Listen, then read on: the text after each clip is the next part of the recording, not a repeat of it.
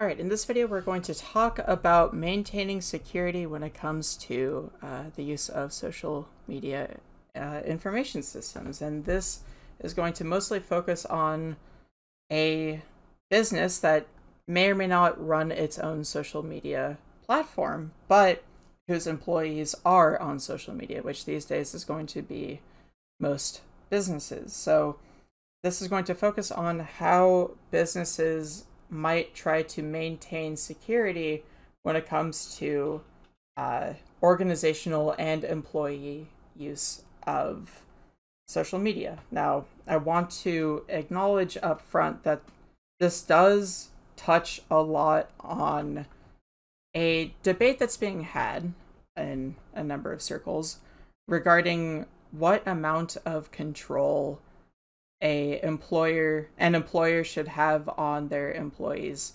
private life uh, with one side of the debate talking about how employees represent the businesses they work for and thus uh, if they do something in their private life that could be bad then that might make the business they work for look bad so that so therefore, the business should be able to control what employees do in their private life. That's one side of this debate here.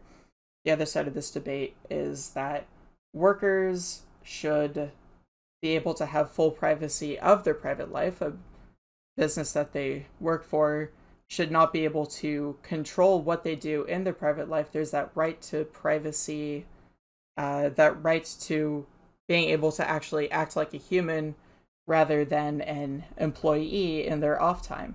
Uh, we have mandatory time off from work for a reason because 24 7 being an employee is harmful. That's the other side of this debate. Now, what I'm going to do for this video is I'm going to teach the curriculum as is.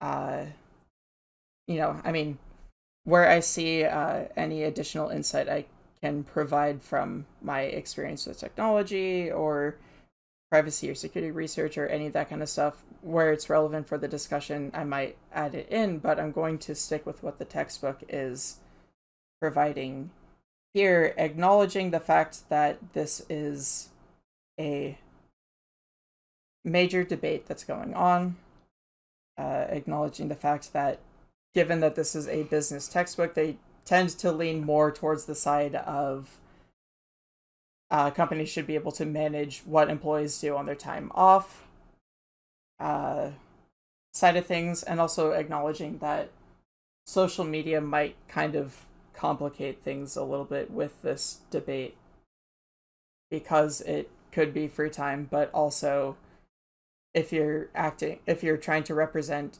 the company as well, or even if you're not, it it gets into really weird territories. That that's why this debate is you know has been going on as long as it has. So I want to just preface this video with all of that. I'm just gonna go through what the textbook is talking about. If you have a particular idea about all of this, about the use of social media policies and the security practices talked about and all that kind of stuff.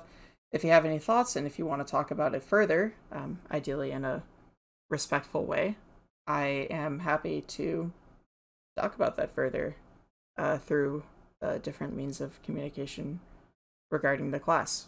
Uh, I think it's a very interesting topic, uh, the way that social media interacts with all of that kind of stuff. Um, I certainly have my opinions on all of this, of course, but my job right now is I am uh, teaching the curriculum, so I will do that. Now, in the modern era, a lot of businesses encourage people to post on social media and identify themselves as being an employee of the company. It can, in some way, be free advertising. It could help in the recruitment, even if someone's not actively trying to recruit. There's a lot of possible benefits for that. But the uh, other side of this is that if someone is uh, publicly acting as an employee of a company and publicly identifying themselves as so, um, there are easily things that they could do that might harm the company's credibility or something like that and turn into a PR uh, thing, event. So, a company might have a social media policy that delineates employees' rights and responsibilities regarding their use of social media. A lot of companies tend to use this, and this might include things like don't talk about things that we're doing that you shouldn't be talking about. That might be the the furthest extent of it, or it might have some guidelines on how to make the company look, you know, as good as possible when you've identified yourself with the company. Um, and a lot of bosses or managers or something like that will try to uh, have access to someone's social media. Not like logged in access but more like look being able to look over their employees social media to see if everything lines up with uh you know making the company look good and all that kind of stuff. Um this might even happen in the hiring process is they might try to look someone up on social media and see if they can find them and see if they can look at what kind of stuff they're posting and if they would reflect well upon the company or something like that. So a lot of organizations have those kinds of relationship with social media and have a social media policy for their employees. Now, this is the Intel social media policy. Uh, they have three major guidelines right here. Um, disclose, protect, and use common sense. You disclose the fact that you are an employee of Intel. And you, you make that very well known uh, so that you might not get accused of like, or Intel even might not get accused of like trying to do some like subtle uh, guerrilla advertising thing with social media or that there might be a bias or something like that. Like maybe it might help with trying to prevent claims of like not well disclosed advertising or something like that, which the it could be kind of serious, uh, depending on if the FCC actually follows through on anything they do regarding it. But they want employees to disclose their relationship with Intel. Uh, helps build a good brand association if the employees are doing okay things uh, on social media. So that's a benefit. All that kind of stuff. The second uh, rule is to protect. You take extra care to protect both Intel and yourself. So you don't divulge like where you live or anything like that, any information about yourself, personal information, private information. Um, you don't uh, share your password or account with anyone. You don't give uh, very sensitive details about your life out, all that kind of stuff. And you protect Intel in terms of intellectual property and processes and all that kind of stuff because it'd be really bad if you uh, showed off the latest processor technology that they're developing and then online on Twitter and then AMD starts taking advantage of it or something like that. So you protect Intel and also yourself. And then there's also using common sense. Um, be upfront about any mistakes that you make. You know, acknowledge it and make a commitment to get better. Uh, don't try to um, don't don't don't try to uh, bury mistakes or anything like that. Um, be professional, be straightforward. Uh, recognize that as a human, you are valuable, and thus you might make mistakes. So when you're called out about it, actually say something about that and acknowledge it and commit to being better. That's the idea behind these three principles that Intel in particular uses. And companies might use something similar, they might use something completely different. Uh, but it's just an example of a social media policy here. Now, when businesses open themselves up to social media, whether it's through a social media team, an official business social media page, or whether that is through their employees going out and being candid about being members of that business, um, there is risk that comes with it. And we're going to talk about the different types of risk here. Uh, so, we're going to talk about user generated content right here, UGC, on this uh, slide. Users can post anything on a social media site, which is known as user generated content. That's the whole deal with social media. That's the reason why anyone is on social media, is for posting and for seeing other people's posts. And for that reason, they can interact with each other, they can interact with businesses uh, in the form of user generated content. Now, there might be bad things that comes from user generated content, from bad actors who are trying to, or well, either try to negatively affect stuff or might just be doing it uh, incidentally. Problems here are going to be things like uh, junk or harmful contributions. So if someone um, is interacting with a company and they say something that's really bad or meaningless or actually really harmful or something like that. The um that can make things really bad for a lot of other people who might be participating in this engagement with the social media site. And that can actually possibly say up on their page or in their that can be associated with like a post that they make or something like that. And that could be a problem because that could harm other people or give other people a negative association with that brand. So that's one form of external risk here. Uh, inappropriate content can also be really bad, um, inappropriate, especially in the sense of like not safe for work. Um, in any number of dimensions of content being not safe for work right here that can also provide a negative image towards the brand. And then unfavorable reviews. Um, that is uh, if, if uh, reviews are publicly available to customers, and there's a lot of really really bad um, reviews out there. There needs to be some action that needs to be taken, especially if that company is using social media to, uh,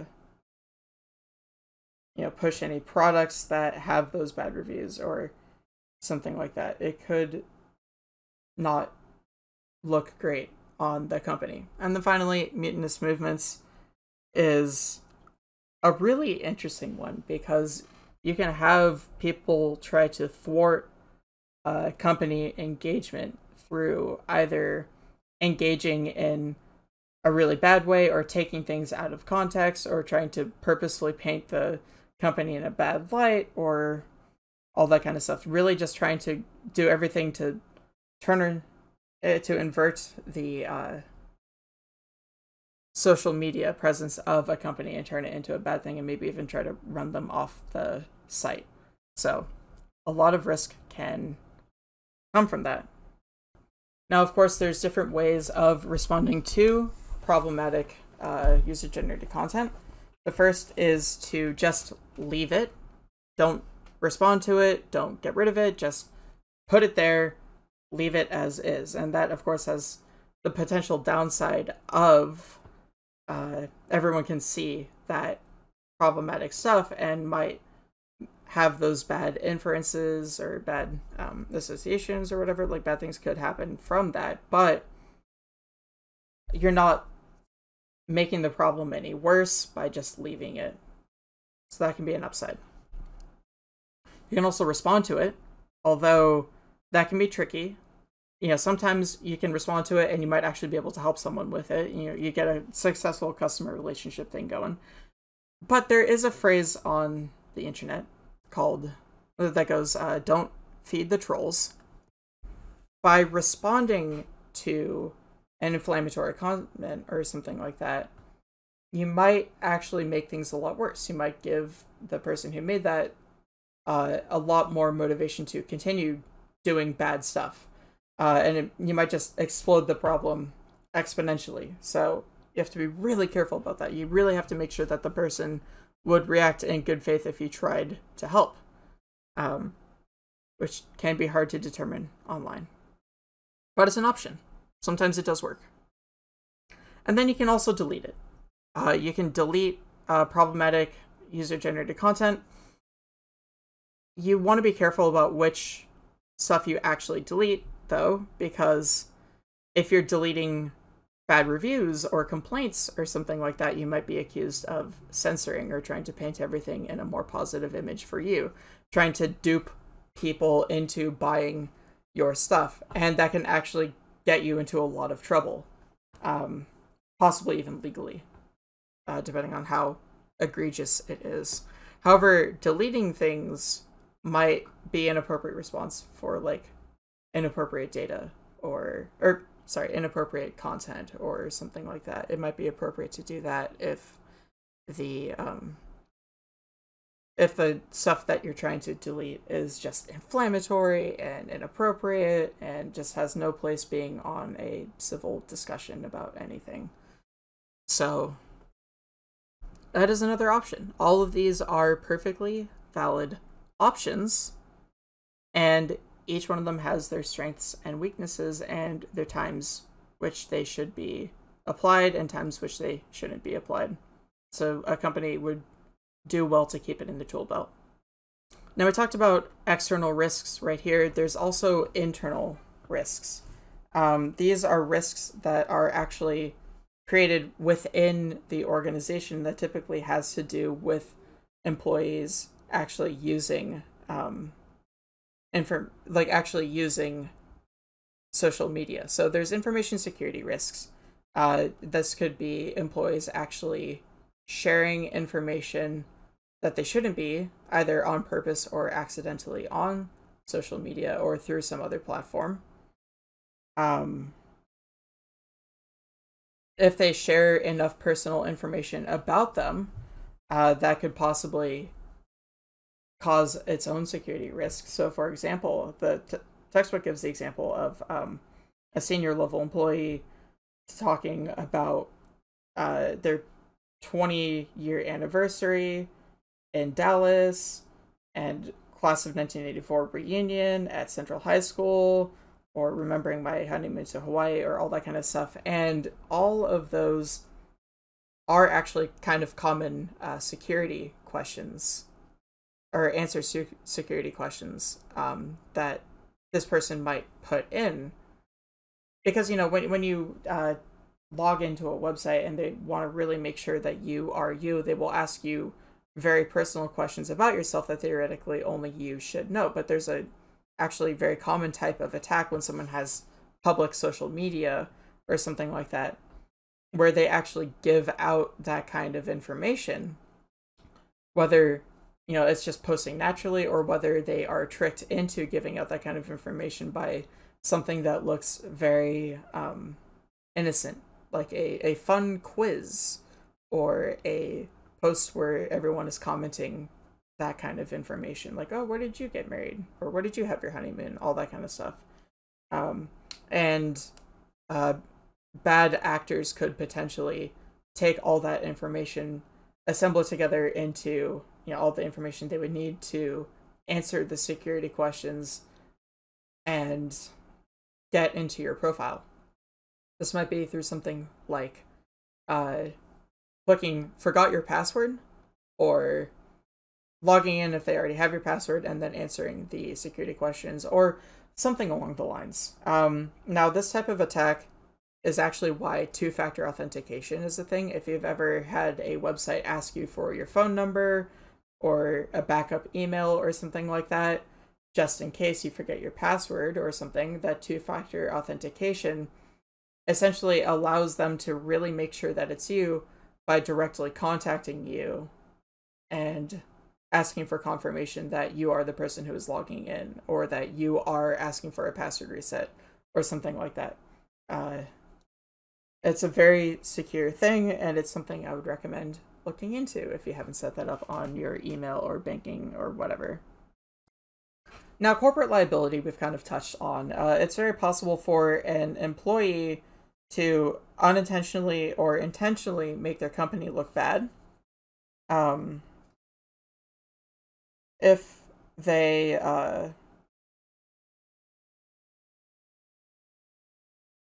if they post things that are harmful or if they make threats or something like that, or if inf- employees leak some kind of really sensitive information that might end up looking bad on the organization.